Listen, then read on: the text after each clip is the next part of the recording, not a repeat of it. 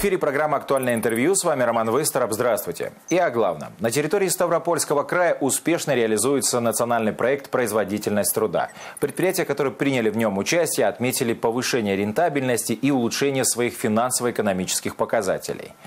И вот сегодня мы более подробно с нашим гостем обсудим и поговорим об итогах реализации проекта «Производительность труда» за 2022 год. У нас в студии директор Фонда содействия инновационного развития Ставропольского края Вячеслав Черниговский.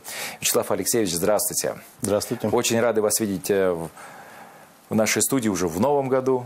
И вот теперь будем подводить итоги за 2022 год. Но для начала давайте поговорим о национальном проекте «Производительность труда». Кто инициатор, куратор э, проекта, каковы цели проекта, кто, какие осуществляются мероприятия в рамках проекта «Производительность труда» в Ставропольском крае и что входит в меры поддержки предприятий? В Ставропольском крае куратором национального проекта является Министерство экономического развития Ставропольского края. Э, сам Национальный проект э, делится на два федеральных проекта. Это системные меры производительности труда, поддержки производительности труда и адресная поддержка производительности труда на предприятиях участников национального проекта.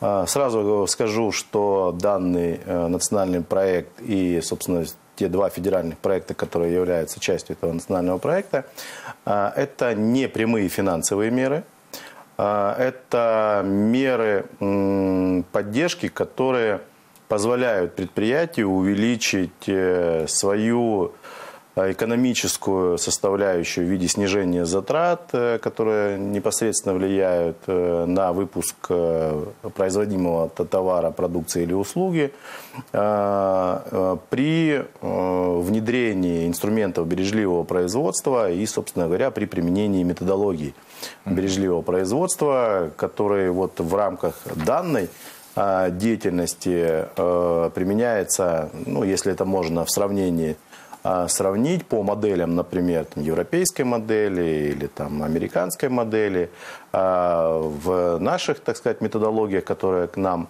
доведены и которые мы используем, которые были предоставлены Федеральным центром компетенции, который является оператором федерального проекта «Адресная поддержка производительности труда». Так вот, методология предполагается и используется, точнее, методология, которая была взяла, взята в Японии, то есть тойотовская методология. Применение инструментария в методологии бережливого производства.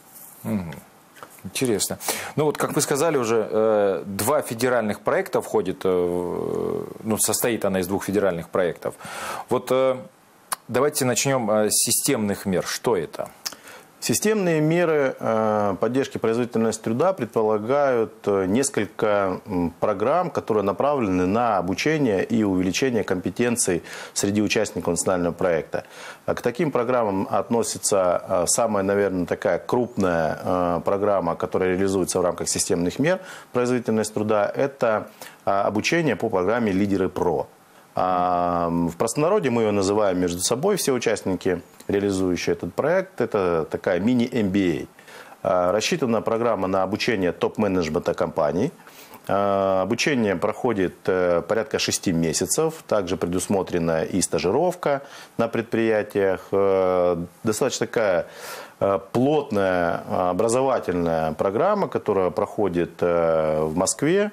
Ну и, собственно говоря, опять же, для предприятий участника национального проекта обучение своих сотрудников по этой программе предоставляется за счет как раз-таки федеральных средств, ну то есть на безвозмездной основе. Компании тратятся исключительно для того, чтобы направить своего сотрудника в командировку в тот период, когда он будет проходить обучение. Второе направление, которое реализуется в рамках этих системных мер, Э, опять же, это не финансовые меры поддержки, это обучение, которое проводится на э, площадке или совместно с Российским экспортным центром и направлено на то, чтобы э, дать знания и компетенции для предприятий, которые хотят выводить свою продукцию на экспорт. Соответственно, там регулярно и постоянно вносятся какие-то изменения, новые рынки, новые страны. А, везде есть определенные, так сказать, технологии. И вот Российский экспортный центр э, обучает э, персонал, э, участников национального проекта для того, чтобы те, в свою очередь, грамотно и правильно выводили свою продукцию на экспорт. И достаточно неплохо набирает, скажем так, обороты.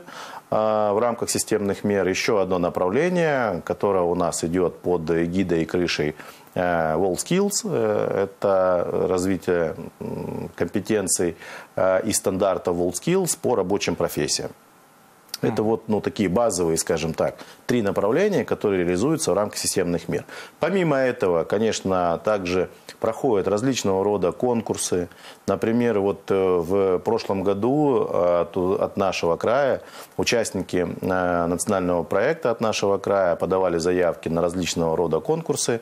А, по различным номинациям. И сначала это а, конкурс проходил на региональном уровне, то есть на территории Ставропольского края. А, после этого были отобраны, выбраны компании, которые являлись победителями регионального этапа, и их заявки были направлены дальше уже на участие в федеральном конкурсе по различным номинациям. И по итогам проведения данного конкурса три компании э, от нашего края, от Ставропольского края, стали призерами, обладателями вторых и третьих мест в, вот в этих конкурсах, э, скажем так, федерального уже уровня.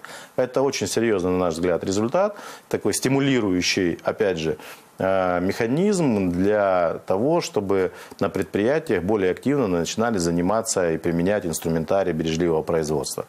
В позапрошлом году, то есть в 2021 году у нас Одна компания явилась участником а, подобного рода федерального конкурса, заняв третье место. А в этом году, в прошлом, я имею в виду, в 2022 году, уже, соответственно, три компании, и три они являются финалистами. Мы считаем, это очень серьезный и хороший результат для нашего края.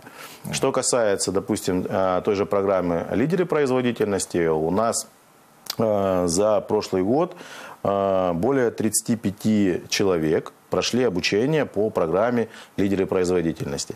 Эти программы, конечно, не безразмерны, они имеют э, определенные квоты, э, но, тем не менее, достаточно активно вот наши участники национального проекта пользуются в том числе этими программами. Вот еще один стимул, чтобы попасть как раз в квоту, хорошо работать, чтобы работать еще лучше потом, да? повысить свои, скажем так, прокачать свои скиллы, свой скилл. Ну, а, то есть Получается, что основное направление э, улучшения э, производительности труда направлено на то, чтобы э, повысить квали... квалификацию уже тех сотрудников, которые работают на предприятии. То есть для тех, ну, в этом и выгодно, чтобы участвовать в этом для предприятия. Ну, на самом деле, если мы будем уже, конечно, говорить, ну, скажем так, о выгоде да, угу. участия, выгода участия предприятия заключается, конечно, не только в том, чтобы увеличить свои компетенции. Основная, конечно, выгода у компании, участника национального проекта возникает тогда, когда а, специалисты регионального центра компетенции, а, демонстрируя за счет каких действий, применяя подходы бережливого производства, можно повлиять на более эффективное использование собственных ресурсов. Ну, если я уже так, скажем так, простыми совсем словами попытаюсь объяснить.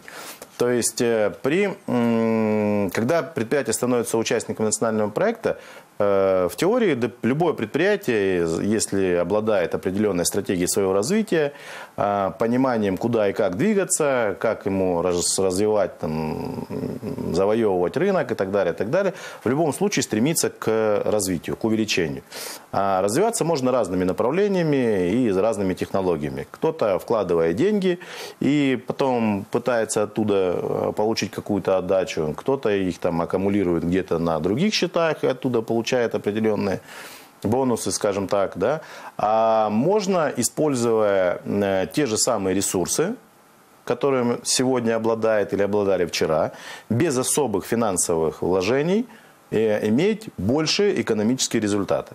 Вот Э, сама концепция, если это можно так сказать, или подходы бережливого производства, они заключаются в том, и в принципе вся наша деятельность направлена на том, чтобы мы могли со своей стороны, оказывая вот эту вот консалтинговую услугу в рамках реализации федерального проекта «Адресная поддержка производительности труда», продемонстрировать предприятию, что предприятию не надо особых финансовых затрат сегодня нести для того, чтобы увеличить, допустим, свои производственные мощности.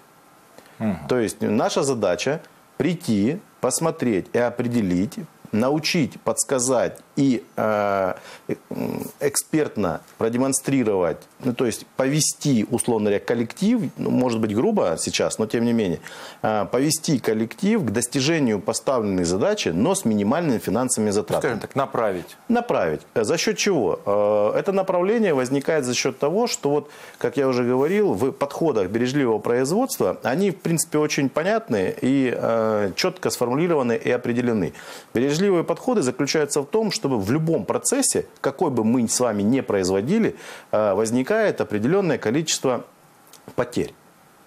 Они классифицируются, они имеют четкое определение. Так вот, задача э, при бережливых технологиях и подходах выявить эти потери и минимизировать.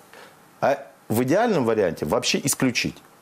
То есть, другими словами, у каждого действия, у каждого действия есть э, при совершении, точнее, каждого действия э, есть, э, ну, скажем так, определенные подходы, характеризующие выполнение наших работ. То есть это значимая работа, она, собственно говоря, и самая ценная которая характеризует любое действие, которое бы не производил человек, оборудование, что-то еще. А, незначимая работа, без которой ну, не обойтись при выполнении поставленной задачи. И потери. Так вот, задача бережливых технологий, бережливого производства заключается в том, чтобы ликвидировать эти потери, сократить незначимую работу и оставить только значимую работу. И вот если это получается сделать, в любом процессе, в любом технологическом процессе. А технологический процесс можно применять, это и офисные процессы, там, при производстве, я не знаю, там, продажи чего-то там, да, оборудования какого-то там, или зерновых культур, ну, то есть неважно, да, и, и, или если мы выпускаем там хлебобулочные изделия, это тоже технологический процесс. И вот если мы анализируем этот технологический процесс и на каждом этапе этого технологического процесса, разбивая его на сегменты, мы выделяем вот эти вот, находим вот эти вот потери, их устраняем и сокращаем вот эту незначимую работу, то, соответственно, ценность и себестоимость выполняемой работы, она будет ниже. Если, ну так, совсем привести какой-нибудь пример, такой простой, да, из жизни, например. А, ну вот, э, я не знаю, производим... Ну, давайте тот же хлеб, вот как мода. Производ... Хлеб, э, да, хорошо. Давайте возьмем такой пример. Э, но опять же, хлеб, его надо вырастить. Да, если мы э, берем процесс вот, выращивания и так далее, так далее, ну, возьмем для примера ну, какой-нибудь из там, окончательных вариантов уборка. Ну, или даже пусть даже не уборка, пусть даже на стадии, когда идет э, подкормка, э, вот там, я не знаю, того, того, что называется всходами, как, как их можно там э, назвать. Э, соответственно, Ценность в чем заключается? Когда выходит комбайн на поле, его ценность заключается в том, чтобы он вносил эти самые удобрения. Вот, собственно, вот эта ценность э, работы при внесении удобрений в почву. Или там при опрыскивании и так далее, и так далее. А, вот это значимая работа. Незначимая работа у любого э, механизма, в том числе у этого комбайна, там, или пусть это будет какая-то там селка, или там поливной какой-то э, трактор и так далее, а у него есть емкость. То есть он не может постоянно ходить по полю и просто вносить удобрения. Его надо заправлять, его надо загружать, там, сыпучие это или это жидкий ну, так, раствор и так далее. Да. А, соответственно, когда его заправляют, Соответственно, без этого обойтись невозможно. То есть это уже незначимая работа, но без нее выполнить внос удобрений невозможно. Вот как сократить количество времени для того, чтобы заправить комбайн? Вот мы занимаемся в том числе и анализом э, вот таких вещей. Плюс ко всему прочему, при, опять же, э, внесении этих удобрений возникает э, потери. Например, потери с простоем. Или э, для того, чтобы внести эти удобрения, у нас одновременно на этом же клетке, поле, находится ну, порядка там, 10 э, человек и 3 э, единиц техники. Техника, которая просто стоит в этот период времени, она просто стоит. Это потеря, которая не добавляет ценности процессу удобрения. Соответственно, вот э, работа заключается в том, чтобы минимизировать вот эту вот э, незначимую работу, увеличить значимую работу. А если мы увеличим значимую работу, что происходит одновременно? Одновременно у нас происходит сокращение времени протекания этого процесса. Ну, то есть, условно говоря, если мы не анализируя, не применяя э, подходы бережливого производства, мы можем э, одну клетку поля вносить это удобрение, грубо скажу, да, условными единицами, в течение там, 10 часов, то применяя бережливые технологии и инструменты бережливого производства, мы эту же самую клетку можем уже внести удобрение не в течение 10 часов, а в течение 8 часов. Чем э, интересен и хорош этот национальный проект, эти подходы, все действия, которые производятся, они имеют выраженную единицу. То есть это не вымышленные какие-то единицы, которые мы можем там, применить, опять же, в тех же условных единицах. Если мы говорим о сокращении времени протекания процесса, то мы говорим о времени конкретном, четком. Если мы сократили время протекания процесса, естественно, мы это потом пересчитываем в затраты, которые мы сэкономили в течение тех же, грубо э, говоря, двух часов, на примере которых мы сейчас с вами рассматривали. А если мы теперь пройдем по э, каждой цепочке выполнения технологического процесса, то, соответственно, мы из общего количества времени, которое выделяется, ну, даже возьмем ту же пшеницу, от посева до уборки – и проанализируем всю цепь, где проанализируем, какое количество людей работает, что они выполняют, какое количество техники у нас используется, насколько эффективно эта техника используется и применяется. И вот анализируя, анализируя, анализируя всю эту работу, и потом, более того, еще и э, смотрим, а где у нас возникла проблема, которая не позволила нам быстрее это выполнить. Вот та самая потеря, которая, за которую мы спотыкаемся. То есть, получается, мы систематизируем, структурируем, э, не тратя время на, на лишнее, опять же, на лишние действия. На лишние действия, да, которые не дают. Совершенно верно. Как раз-таки вот лишние действия, вот правильная формулировка, это одна из разновидностей потерь, которые совершает человек в результате выполнения своей работы. На самом деле все очень, все очень просто. Это можно применить где угодно, даже в быту. В любых кажется, процессах. Везде. В любых. Да, в быту Иногда вот у нас Сколько мы... мы тратим очень много времени, кажется, мы ничего не успели сделать, а если бы мы все делали, э, просчитали, можно было бы сделать достаточно больше. Да, Скажем достаточно так, мы больше бы по-другому и более эффективно. И эффективно, да. Возможно, да. И добиваться больших результатов, там, там, личного роста и так далее. Действительно, вот мы с вами сейчас Э, тоже один момент, э, чуть вернемся, наверное, назад. Вот э, как осуществляется адресная поддержка предприятий участников, угу. если статистика вот.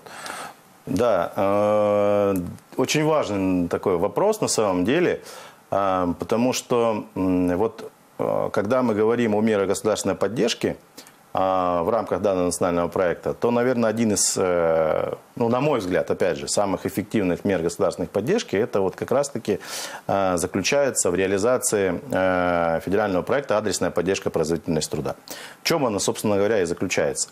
В рамках реализации данного федерального проекта в Ставропольском крае, как и в других субъектах, которые стали участниками национального проекта, были сформированы региональные центры компетенций в сфере производительности труда у нас непосредственно это в сфере производительности труда Ставропольского края. А, сотрудники регионального центра компетенции эм, длительное время подбирались по определенным критериям, с определенными знаниями, опытом, практикой и так далее, и так далее. Но несмотря на все это, они проходили достаточно длинный период стажировки в Федеральном центре компетенции, который составил э, порядка 9 месяцев. У кого-то, может быть, это больше было. И вот в рамках этого э, времени сотрудники, во-первых, на практике Э, знакомились с методологиями и с э, различными инструментами бережливого производства, которые они еще не применяли в своей практической деятельности. После этого э, сотрудники регионального центра компетенции подтверждали свои компетенции в Федеральном центре компетенции, ну, другими словами, защищали свое право самостоятельно вести проекты. И после того, когда они подтвердили свои компетенции, была предоставлена возможность к самостоятельной реализации проекта. Э, с этого периода времени в крае прошло уже достаточно немало времени, потому что этот этап мы прошли в 2020 году. И с 2020 года региональный центр компетенции Ставропольского края самостоятельно имеет полное право реализации а, проектов. На сегодняшний день а, за, уже законченных проектов под региональным управлением в Ставропольском крае более 30 проектов. Это различных сфер а, экономической деятельности. Это и сельское хозяйство, это и обрабатывающая промышленность, это и отрасль ЖКХ, и торговля. Поэтому а, вот опять же в части реализации проектов методологией э, и требованиями, которые предъявляются э, в части адресной поддержки, проект длится на предприятии под региональным управлением не менее 6 месяцев. 6 месяцев – это вот э, только этап, в результате которого будут определены и выявлены проблемы и предложен план к их реализации или устранению. Ну, если в целом рассказать немножко о проекте, то э, проект можно разложить на три этапа. Первый этап – это этап подготовки. Потому что когда мы приходим на организацию, в любую организацию или предприятие, э, для того, чтобы общаться на одном языке, мы должны сначала подготовить коллектив. Соответственно, этап подготовки, он включает в себя и определение того самого потока, над которым будет проводиться работа, определение рабочей группы, ну, другими словами, сформировать необходимый ресурс для того, чтобы потом можно было с этим ресурсом уже двигаться по проекту. Вот этот этап подготовки, он может занимать от двух месяцев там, до трех недель. В зависимости, конечно, от готовности самого предприятия. После того, когда прошел этап подготовки, который в том числе включает в себя прохождение в обязательном порядке обучения по инструментам бережливого производства. Инструм... Э, в рамках этого обучения дается ну, где-то порядка э, 7 программ. Это и основа бережливого производства, это и картирование, это и 5С, ну и так далее, и так далее. А, после того, когда прошел этап подготовки, идет трехмесячный этап диагностики выбранного потока. То есть в течение трех месяцев идет глубокая диагностика всех процессов, которые от начала до конца этого потока, от границы до границы происходят. После трех месяцев идет, а, уже предлагается план мероприятий, который позволит этот поток по времени – оптимизировать, устранить эти потери и сделать более эффективным.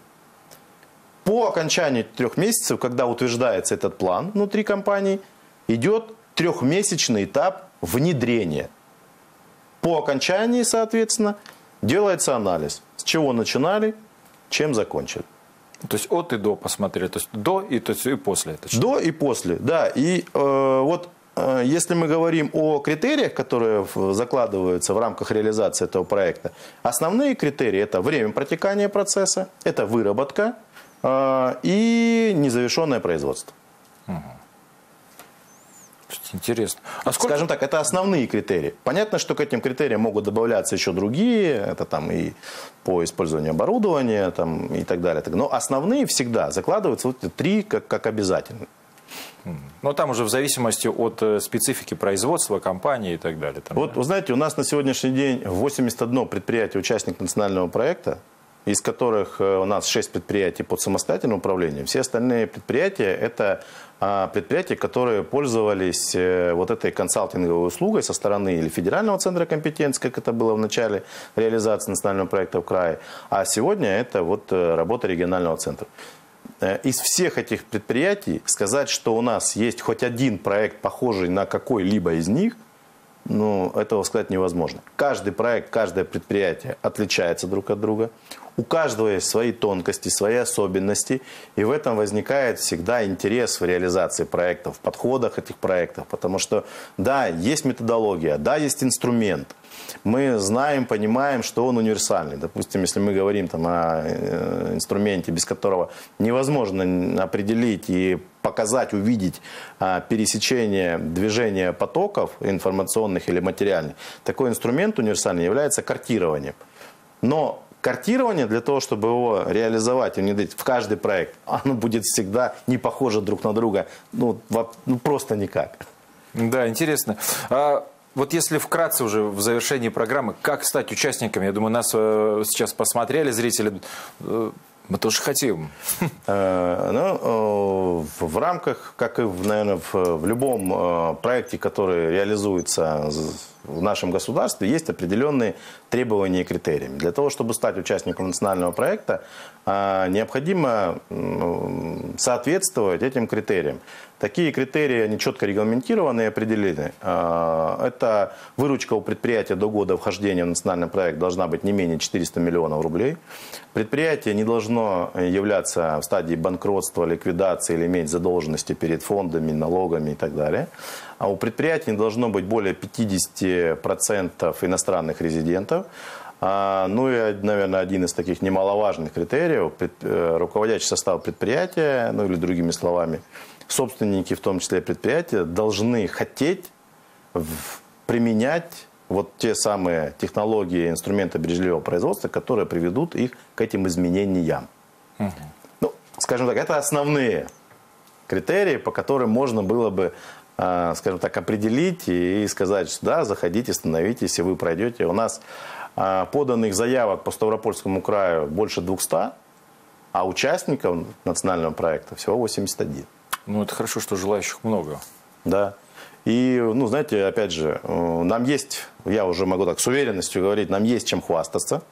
Потому что если мы сейчас, допустим, подведем, пусть короткие, но тем не менее, итоги реализации национального проекта, мы можем смело сказать, что вот даже я со статистикой небольшой такой пришел к вам, а если мы говорим в среднем о цифрах при реализации национального проекта э, среднее значение выборки из 41 предприятия, которое э, является участником нацпроекта под региональным управлением, то время протекания процесса у нас в среднем по этим предприятиям сократилось на 28%, незавершенное производство у нас сократилось на 32%, а выработка увеличилась на 36%. А если мы говорим, допустим, о динамике прибыли предприятий, участников национального проекта под региональным управлением в интервале с 2019 по 2021 год, то здесь мы тоже можем привести такие примеры, что в 2020 году у нас прибыль у предприятий, участников национального э, проекта, выросла почти на 18 миллионов рублей, а в 2021 эта прибыль уже выросла на 78 миллионов рублей у участников национального проекта. Поэтому это среднее значение, но тем не менее. А, динамика расходов на оплату труда, что тоже немаловажно, как мы, это не является основным критерием, но мы его для себя сами вывели. В 2021 году у нас динамика а, расходов на оплату труда у предприятий участников национального проекта выросла на 23 миллиона рублей. Здорово. Вячеслав Алексеевич, вот на этой прекрасной, положительной ноте э, мы нашу беседу с вами закончим. И это здорово. И я думаю, что эти показатели будут еще лучше. Да, Спасибо безусловно. вам большое, Спасибо. что сегодня к нам пришли. Дорогие друзья, на этом наша программа подошла к концу. Мы с вами прощаемся и желаем вам хорошего настроения. И оставайтесь с нами, оставайтесь на своем. До новых встреч.